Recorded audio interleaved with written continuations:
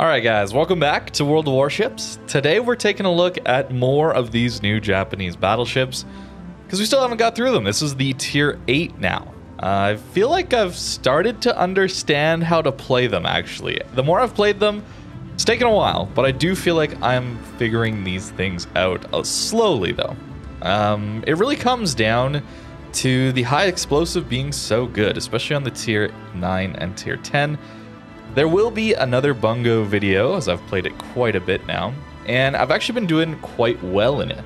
Unfortunately, we don't have the stats from when I first started playing it, but since the patch has dropped, uh, I've played 11 games here and I'm averaging 181. so the damage is there. Uh, the most per battle, though, is still only 211, so it's not like I've had these insane games, but reasonably consistent thanks to the high explosive. So we'll see if that remains true for this tier 8, since we do only get 410mm guns here, not the 457s.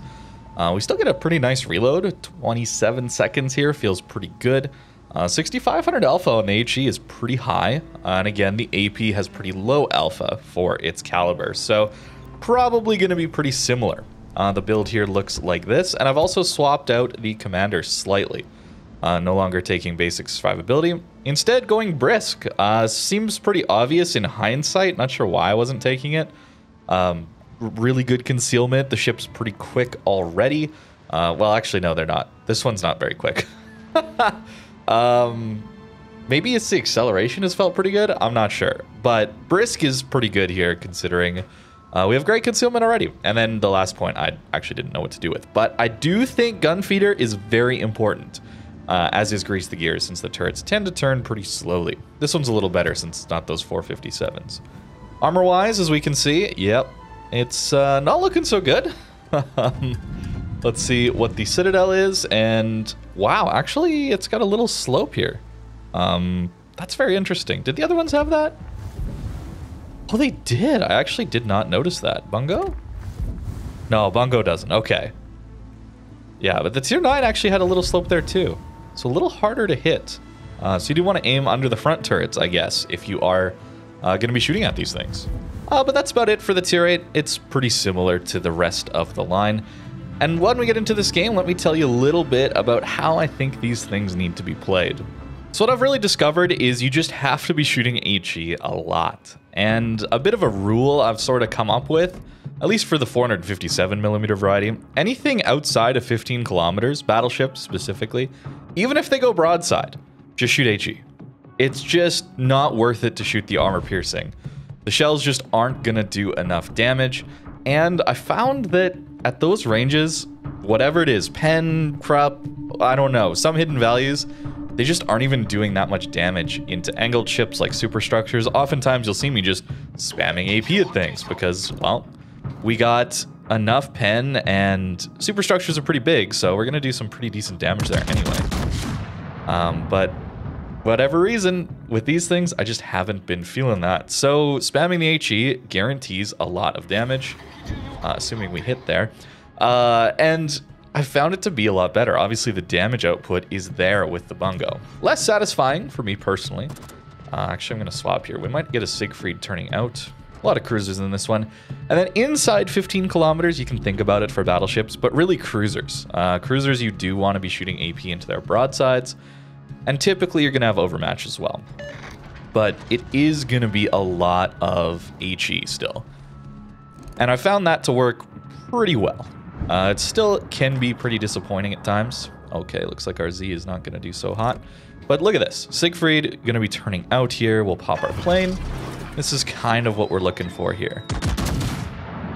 Aim a little high, since the aiming system tends to put shells low. There you go. Patience paid off in that case. And I'm actually going to swap to the HE because I'm going to drift behind this island. We're not going to get another shot. And we're going to look for this Massachusetts. It is a lot to keep track of. More so, I think, to get the most out of these ships. You do need to be swapping to that HE. He goes dark. Um, we're still going to take that shot, actually. At least rear guns. And then maybe we'll go back to the AP uh, for a shot over this island here. Uh, we're a little too broadside here. Not sure what we're spotted by. Okay, we're good. We do want to be using stealth quite a lot here. Siegfried is too angled. Ah, here's a cruiser.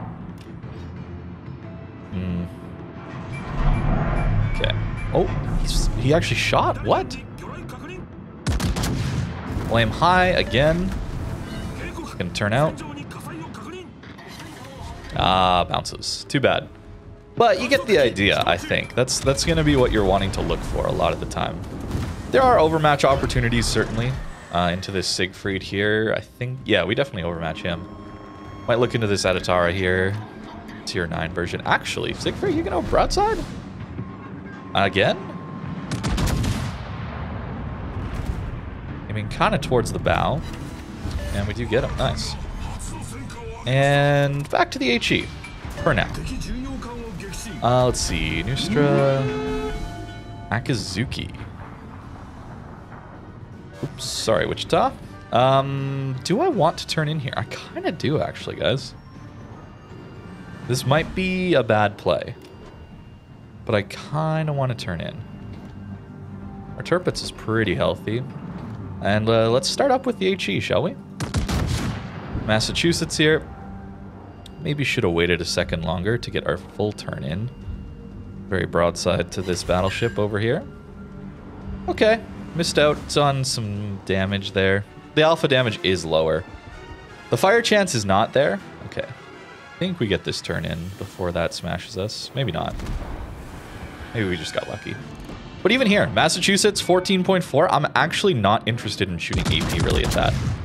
It's so awkward and weird compared to the way the game seems to teach you how to play battleships. Um, maybe I'm too focused on it. Okay, we get a fire.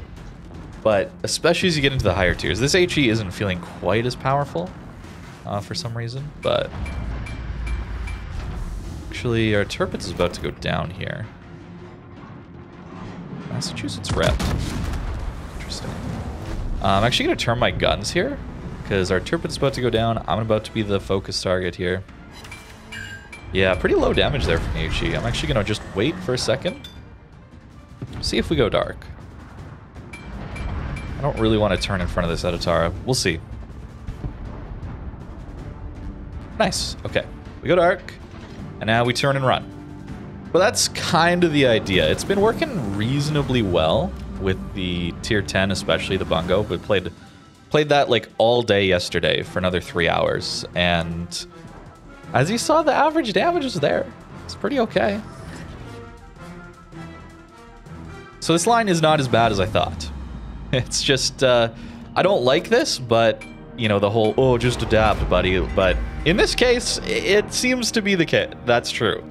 Uh, there was a playstyle to adapt to. Um, and we're kind of doing that. Guy's angled. Guy's going to turn out. And unfortunately, actually, our shell velocity is good enough. We don't... We can't get over that? Wow, that's sad. He's so broadside, though. Come on, Gabe. No, we don't get there. All right. Well, Massachusetts here. Maybe worth? Okay. Well, I have AP right now, and this is actually a decent opportunity. So, 16 kilometer shot. We'll send it. And we do have, we definitely have to be running here. But let's see what we get on this guy. I have two hits only. Not a great example, because you couldn't see it, but I have found the AP to be pretty anemic on the higher tier ones. Now that last spotter plane was a bit of a waste, certainly, but I have found that a lot of the time I'm actually ending games with a lot of spotter planes left. So an improvement to be made certainly will be using these spotter planes a little bit more often. It's a lot like the reload booster on some of these French ships where you definitely want to be using those things to get a lot of damage output in the game. And you can fall into a bit of a trap like, oh, I want to save it, I want to save it, I want to save it, but... You gonna turn in?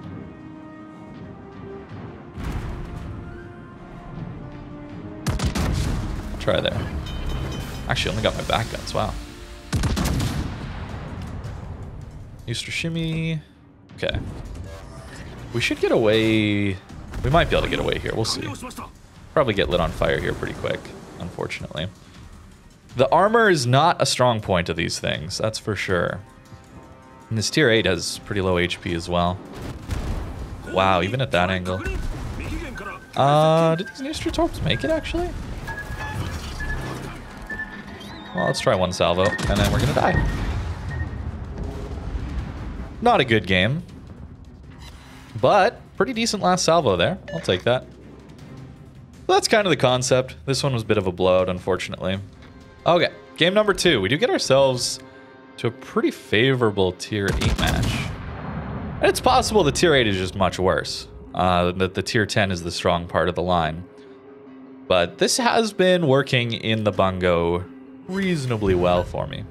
Wow, a full pin for 650? How? That, okay. I will say the HE has felt pretty bad on this thing in comparison, which is odd because the alpha is not actually that much worse. Oh my goodness, double sub over here. Terrifying. Maybe some splashes onto them. Yeah. Wow, such low damage of the HE. Although maybe that's just a sub-saturation thing. Kind of sad. But we do get a bit of damage in onto them. That helps.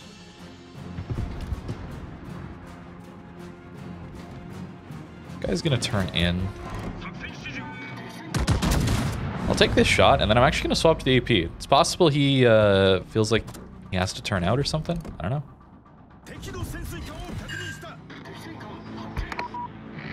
Try there. Really? Turret. That's unfortunate. Now, does he turn in? He does. Too bad. Okay, we got one of the subs. That's, that's good. Wait, patience. Patience. Okay, here's the turnout. We don't have all our guns. I'll even aim a little high. Patience. Here we go. Five over pens. Uh, game. Why can't you be consistent? If you're gonna do the shells drop short thing all the time, do it all the time. Not just, uh, don't stop doing it the instant I try and compensate for that. Unfortunate. Um, but we do have an enemy Kansas pushing up here to deal with. Kind of scary. Actually gonna, I think just do a turn out here. This might just end in our death here getting dev struck, but I think we should be okay. He's very broadside. Let's see what the AP can do here. And then we'll swap back to the uh, high explosive. Oh, yeah, angles in time. All right. Five bounces. That's to be expected um, at that angle, I do think. But the AP performance, any sort of like minor off angle, it doesn't feel like it... it's almost if you took, you know, the improved pen angles you get on like a Petro. They're not like massively improved over normal AP, but they feel better. Um, it's almost if you took that in the reverse and made the pen angles slightly worse. I know that that's not how it works on paper, um, how this how the ship is, but that's kind of what it feels like. Whatever is done to these AP shells, they need flat broadsides at closer ranges. Otherwise, just be shooting HE out of this. Maybe not the tier 8, though. Oh boy, our team is kind of losing people here. Here we go. On 17k. 15, do we kill him? No. Wow. Yeah, it's stuff like that, you know? I think that's okay damage, but... I mean, it's not good either, right?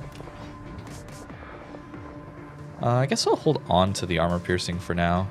Look for this uh, cruiser here. Might turn this way. Good, uh, good dispersion there.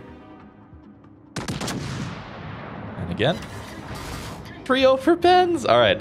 We've only overpenned this guy. You might know some things. And then we miss. There's still a lot of issues with this line, guys. Don't you worry.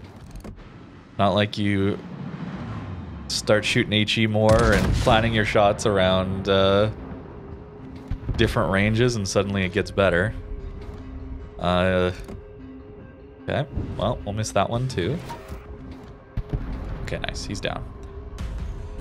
Let's try and deal with a broadside hipper here. Maybe this Byron. We'll see. We do have overmatch on this guy. Right? Like, that's something else we can take advantage of, right? Uh, okay, I probably need to turn out, actually. Two hits only. That's playing up two hits. Unfortunate. Uh, if I was to shoot this Byron, I probably would be using HE. That's what I'd swap to right now. But I am keeping my eye out for this uh, Bruiser here to see what he does. Again, we should have some overmatch. Byron's on us. That's okay. Yeah, a bit of overmatch. There you go. Byron being broadside is pretty tempting.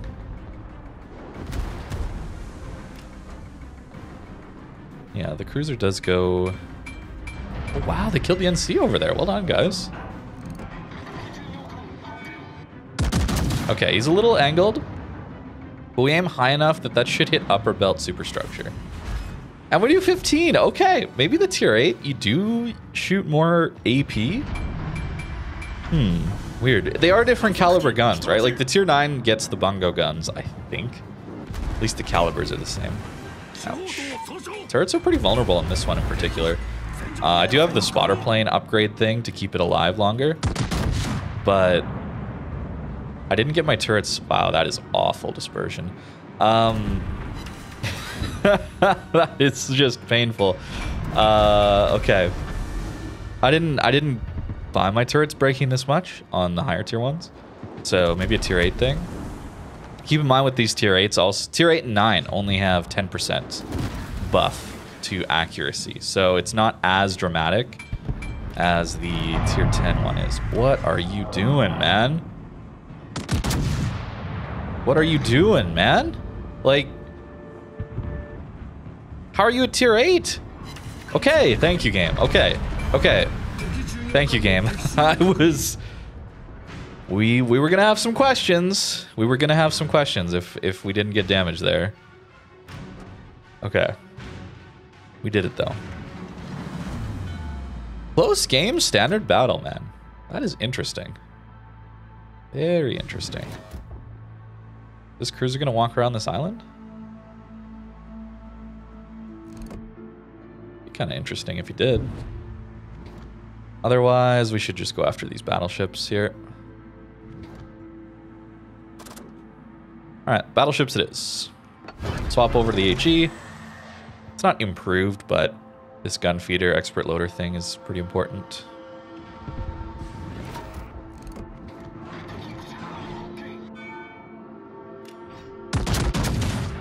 appears to be turning out a bit.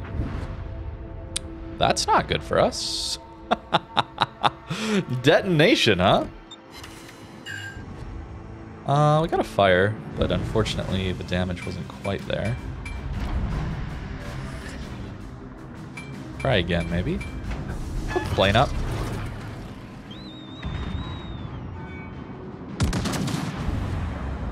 Looks like our mass is on HE as well. We will want that for the... Okay, there we go. We kill him. We do want that for the Richelieu. Okay, we saw some AP come in from over here. I think the cruiser's still there. We might have to worry about the Icarus coming in for us.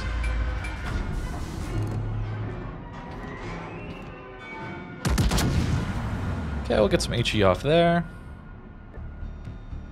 Nice. Okay, the cruiser's kiting. I think I actually saw the NC just get clapped down? Like, annihilated him.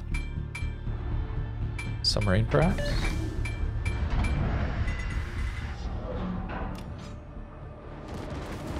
Yeah, look at that. Wow. You do have to lead the HE way more. Uh, something that you will have to worry about a bit. I'm actually going to stop here just for a second.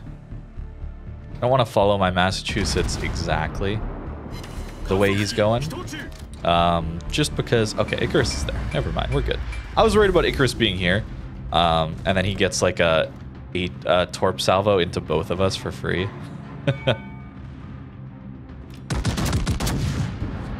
NC's probably dead uh, to the submarine. Probably help on Richelieu here now. No, maybe not. Yeah, damage is lower on this HE for sure. And then at the same time, we have seemingly just less damage. Uh, the damage is just so much worse on this HE. It might not be as good to just spam it all the time. Uh, I'll definitely be... Yeah, 650 again. Wow. I'll definitely give you guys another Bungo video now that I've had some pretty good games into it. Uh, if you're still interested in that. It has been a lot of these things. I've been on a bit of a roller coaster where they were awful and terrible and now they're kind of just okay. Uh, I don't know if I've said this on videos or not. Definitely on stream I've said this a bunch. But I think my expectations were just like astronomical for this line just because I mean, you see it on paper, right? It's it's it's like best, I mean, let's talk about Bungo specifically. 2.2 Sigma, best Sigma out of any battleship in the entire game. You get a spotter plane that gives you three to four salvos. Wow, this guy is just owning with these torps. Uh, three to four salvos of 20% better dispersion. Yamato Ledge Mod was nerfed from 11 or 14 down to 7 because it was too good. Satsuma's funny button requires 3 to 4 volleys to charge, and it gives you 35% for one salvo. This is 20% for 3 salvos, and it's just a consumable. You just get it. Wow, that is disappointing too. Um, 457s at tier 10. Like, the... It's it's the caliber to crush things at tier 10. Um, concealment, 12 kilometers. Reload, like 26. Uh, I'm not sure if I get that in time. We'll see. No, didn't. Um, but right, you, like you hear those things, you see those things on a piece of paper, of a new line coming up and you think, wow, wow, this is going to be OP, right? And maybe that's just skewed things because this line is just kind of mediocre. It's not bad. It's not Colombo. It's not GK. Um, you know, it's just... It's just not what those stats on paper would, would make me believe, I guess, is the idea. And maybe Wargaming said they want like internally, maybe their design philosophy for this thing or these lines was we're going to make a stealthy flanking battleship line that has the potential to be very accurate at times and we're going to make sure it's not good at longer ranges. So we're going to nerf the AP shells and we're going at longer ranges specifically.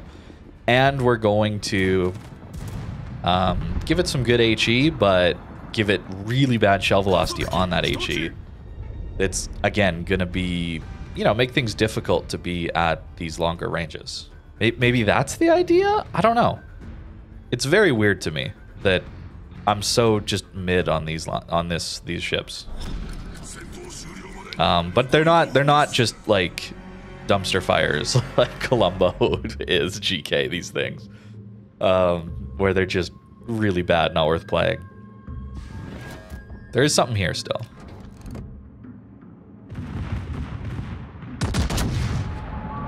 Alrighty.